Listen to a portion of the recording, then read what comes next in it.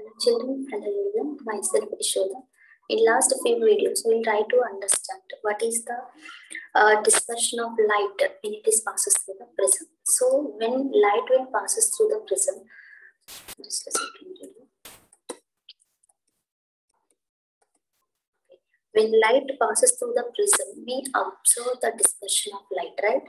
So when in case of that, what we observe when the light passes through the prism, okay in case of that what you observe the spectrum you observe the deviation of light the dispersion of light also you're going to observe. The same this is not what we made man-made what we call. Okay that means we taken a prism and passing through that we're going to observe the spectrum on the screen. That spectrum containing how many colors? Is a band of colors containing VIBGYOR colors. It is band containing right? So it is and gayar are at the top. So this is what the band of colors what we call spectrum observed in the laboratories. In case of nature also, we're going to observe the spectrum. That is nature is naturally available in spectrum. In nature, what we call as a VIBGYOR. Okay, that is what we call as a rainbow. Okay, rainbow consisting of VIBGYOR colors. Now, what we are observing in the nature, it is usually see when you can see this like uh, VIBGYOR in case of shower. Okay, that means in case of rainy season, we're going to observe this. Okay, when the rain is falling and the same time the sun is there.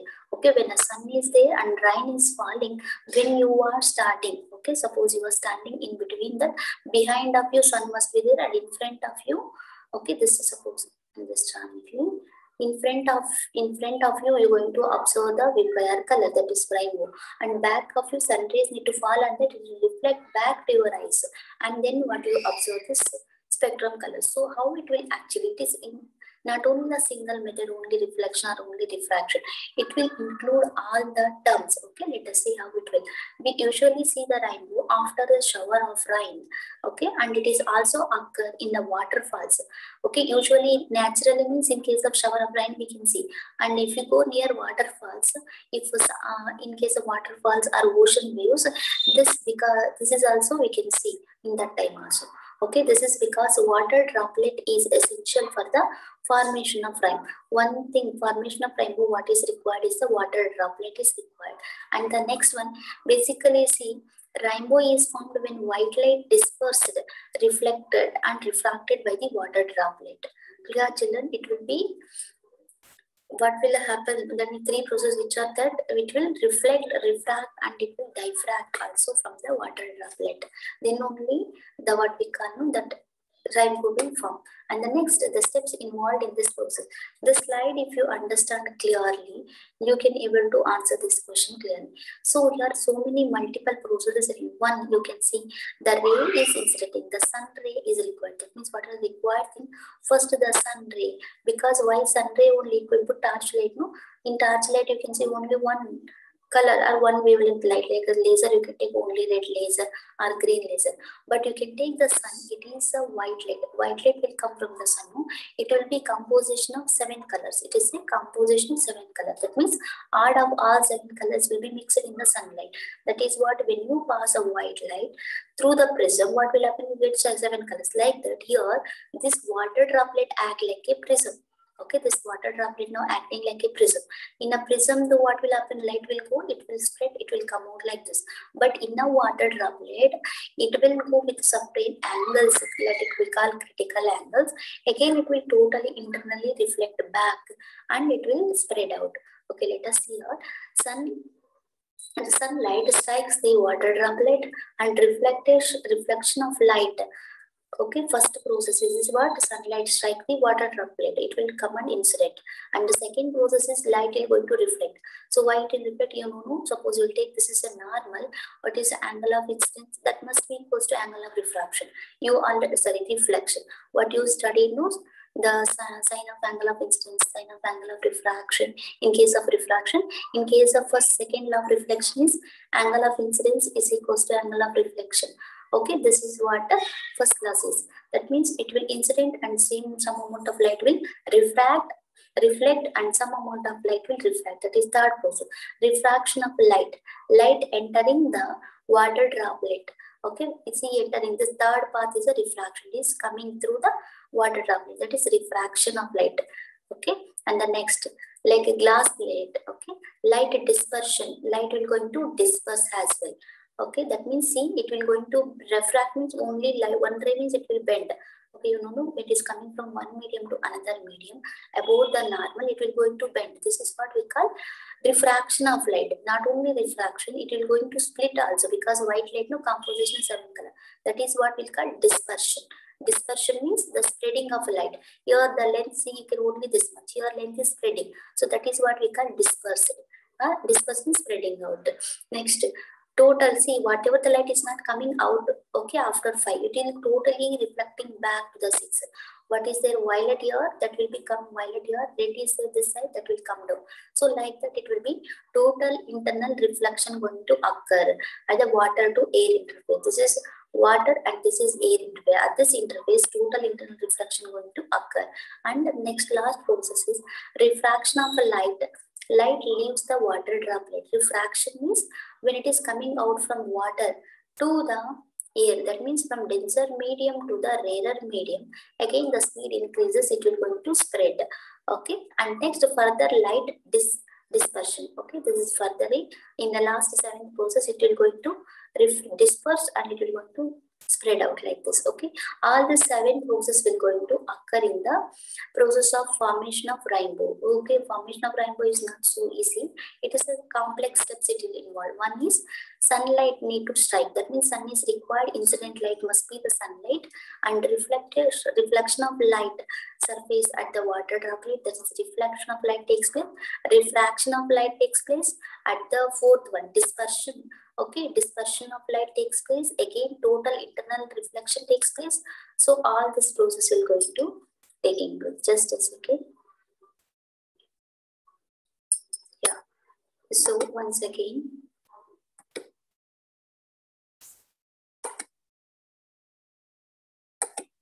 Okay. Now you can see clearly i think picture.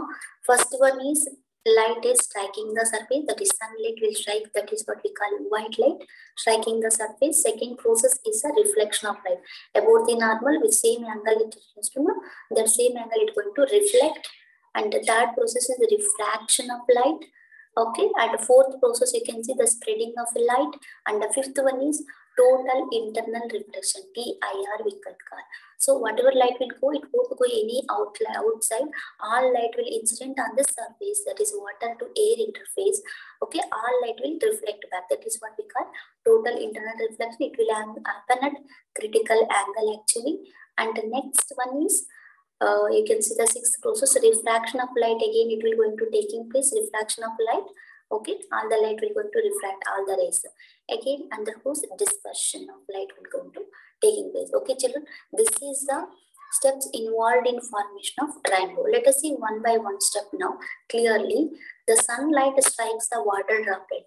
When it strikes the water droplet, so before we start, let us think about, we usually see the rainbow, no? You can see in the picture here, you can see in the picture rainbow, this is the first rainbow, a very high intensity, and the second rainbow, it is less intensity. So how this is formed, we'll just check here. After shower of rain okay after the shower of a rain that means small water droplets still required to form a rainbow and the next one is drawn or a late afternoon. That means very high intensity okay late afternoon like three o'clock four o'clock like that we're going to observe this one. Okay? This is the two conditions required to form the rainbow. One thing sun is required and the next thing is okay first thing what we require is sun and the second thing what you require rain droplets of water. Now see, but even the rhyme, okay, just, but even if the rain is there, we still seldom see the rainbow during early morning or middle afternoon and the late evening only. That means sunlight is required. Because the sunlight must strikes the water droplet at a certain angle okay before the formation of rainbow is possible okay that means directly it will instant on the normal not possible okay it will come with total internal reflecting angle okay that total suppose the critical angle is 9 45 degree it must come with a 45 degree angle. Then only it will total internal reflection and form a rainbow. See all the rain is there even though rain is falling okay even though sun is there but every time we cannot see the rainbow right? Only few days only few events we can see the rainbow. That is because when the the sun rays are falling with the critical angle okay with a certain angle vertical critical angle that time only we totally internally reflect back and we can see the rainbow okay it is the best if the sun is slightly low okay the sky in the sky and much and such as uh, drawn are drawn late afternoons. We can see that rainbow actually. And the next step is see you can see through the glass okay you can see through the glass here and here this is the glass surface what is we can observe no outside world you can see easily. What is uh, suppose this is a glass. What is happening outside we can see. That means light is refracting and going outside as well as same time we can see her if we her she's seeing outside what is happening and she can also see her image also. That means what is why she can see her image? In case of mirror you can see your image no? Why children? Because light falls and it reflect back to you. That time you can see your image. That means in the glass plate okay because it because of its thickness it will undergo reflection as well as it will undergo refraction okay some amount of light will going to reflect and some amount of light going to refract. Okay that is what uh, happen in case of a raindrop also. When it will strike the first step strikes second step it will going to reflect and third step it will going to refract. Both will be occur as like a glass plate. Okay children this is because window both transmit and reflect the light. Okay. Okay refraction of light entering the water droplet okay for example to understand this statement let us see first. In the picture below the light is refracted in the glass block because the glass block is denser than the air. Okay why it is refracting you know children this is medium one and the glass is medium two. Air particles are loosely arranged air particles are close tightly arranged. So that what happen the speed of light going to decrease instead of going in a straight path like this it is appears to bend and it will go. When it is coming from again denser to rarer it will move away from the normal like this. Okay? This is what happening. Because of refraction medium 1 and medium 2 because of change in medium refraction going to taking place. Like that only in case of water air here air medium is rarer medium. Here raindrop is a denser medium. Because of that light when it is coming from rarer to denser medium. Instead of going this path it will going to bend like this. Okay? So instead of going this path so you can see the light ray is going to bending. Okay? This angle what we call as a refraction angle. Clear children? A refraction is taking place because when ray is coming from air medium to the water medium. Okay, that means air to raindrop. Air to denser, it will move towards the normal. Okay, this is the one of the reason. And next, light dispersion. So uh, see in case of glass you can see the glass prism when a light passes what happened because all the colors will have separate wavelength that means they have different properties. What in simple language we can tell. Wavelength. Okay, red will have more wavelength. Red will have more wavelength and violet will have very less wavelength so that it will cover faster. That means in other sense, violet will have more energy. That means it have very high intensity. It have more energy so that it will, energy is more, what will happen? We run faster, right? If energy is low, we run slow. So like that, we this violet will have more energy so that what will happen it will run faster and it will come out and but less red have less energy so that it is coming slowly. Like that all these different colors will have different energies and different intensities as well and different wavelength in the sense. Okay because of that reason so they instead of only refraction if you pass only red light through the prism okay you won't see any dispersion. Okay only red light will come out. Okay but because we are passing white light it is a combination of seven colors. That is why all the seven colors going to spread out like this clear children? This is what we call light going to refract dispersion the fourth process and uh, see Okay, when a beam of light will passes through the prism, in the last condition, what you observe no prism, it will going to disperse because of medium going to change. Similarly, in the case of raindrop also, if you take in case of raindrop, raindrop also, it will act like a prism only. Some rarer to denser it is coming and the white light is coming. Since the white light is seven colors, when it is passes through that, initially only passing like that, it will going to disperse like this colors. Okay, all the colors going to disperse. Okay, this is what is called dispersion phenomena. And the next, you can see light dispersion. Therefore, the resultant violet of violet light to be located in the inner section of the rainbow. Okay. And uh, the red light will be located in the outer section of the rainbow. This same principle explains the reason, the order in which the different colors of light will, okay, you know, prism when light passes through which will have more energy it will come down. So violet have more energy but red will have less energy. No? it will take that here also see inner that means which is come inner no? The violet light and this is a red light which will form like when sun ray forms in this which is actually okay just a second. Yeah we can see rainbow because of this and the second, this in the fourth process, this is a supporting figure actually to understand why red will be outside and violet will be inside. That is because of red what you see, no, that is of first water droplet. And violet what we can see, no, that is the second water droplet. That's why red will be outside and violet will be inside the curvature. Okay, violet is coming so after refraction from the second water droplet. Okay, first water droplet, second water, like that combination of many water droplets you will get in this rainbow. Okay, children? Okay. Total internal reflection. How total internal reflection is occur? Okay, that is because when the light is and instead of going outside to refract outside, entire light is coming back. This is what we call total internal reflection. It will occur at water air interface. Okay, water air interface it will going to take in place. Okay, total internal reflection if you want, we'll just explain the next slide. Okay. See, critical angle is the angle of incidence above which total internal reflection occurs, which its angle of refraction must be 90 degrees. Suppose, suppose let us see to occur total internal reflection conditions, total internal reflection occur only when light need to first condition satisfy that light must be, the source must be in denser medium. It need to go from denser medium to the rarer medium, first rule.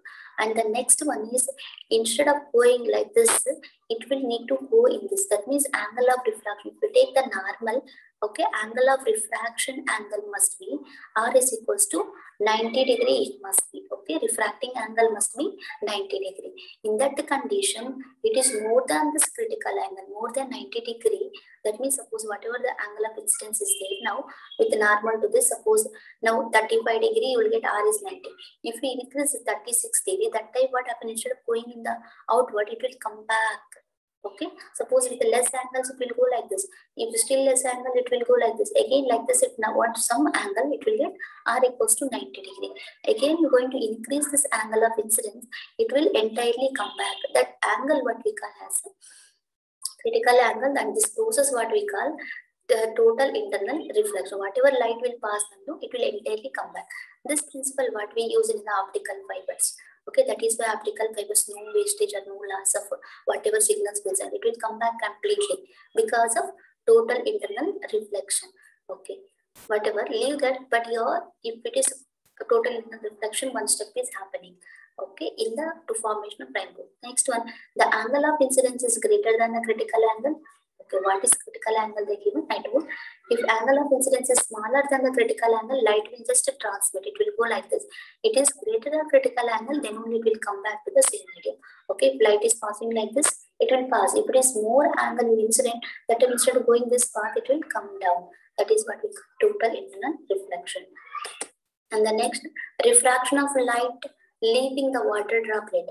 When light travels back out of the raindrop, refraction occurs. See, it is coming again. Here you can see the angle is this. Again, it will come back outwards. What happened? All the rays will going to spread again. They're going to spread. This is what we call again refraction occurs.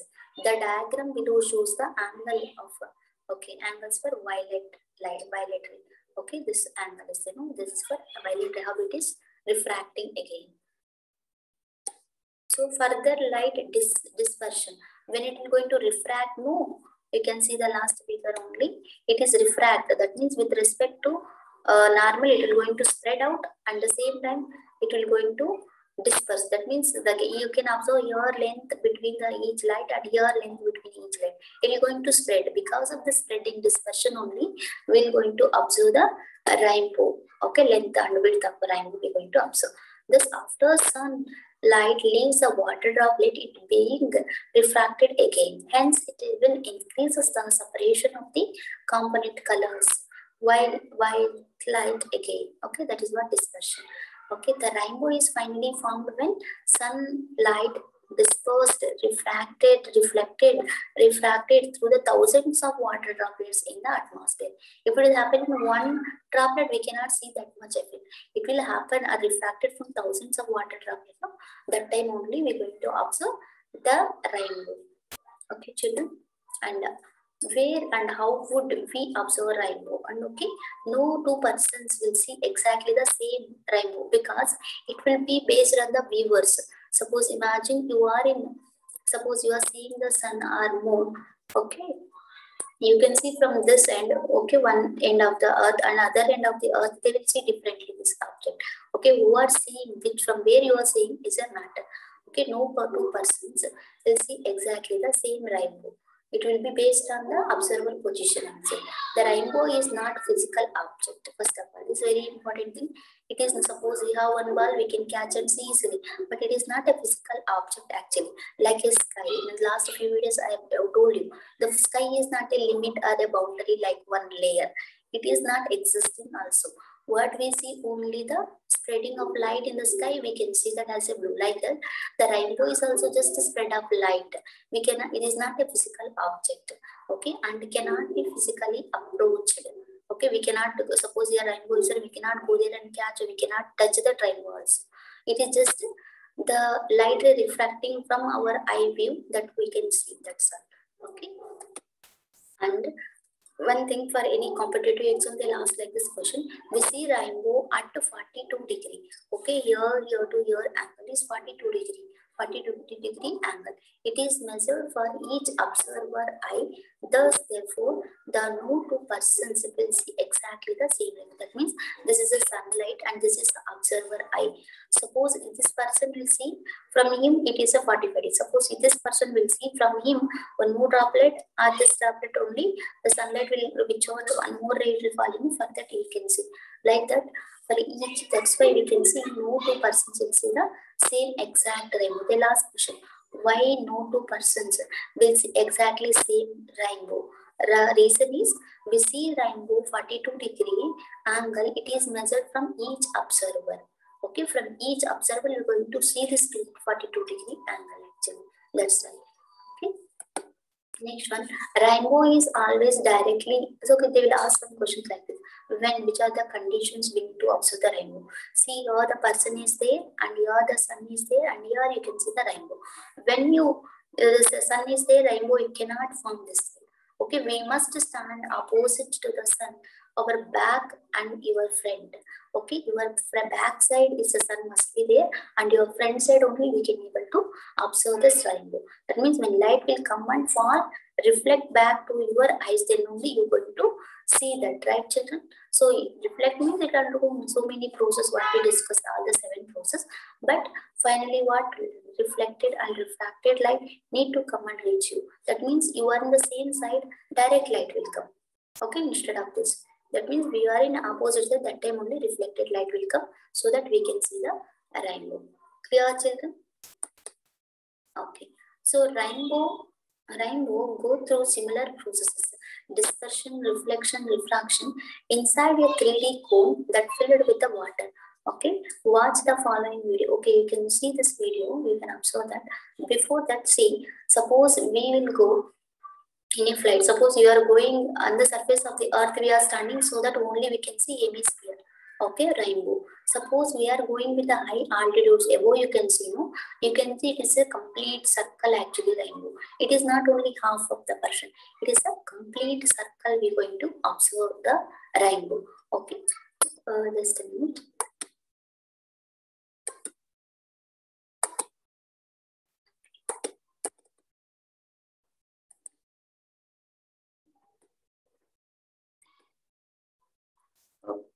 It's not coming, children.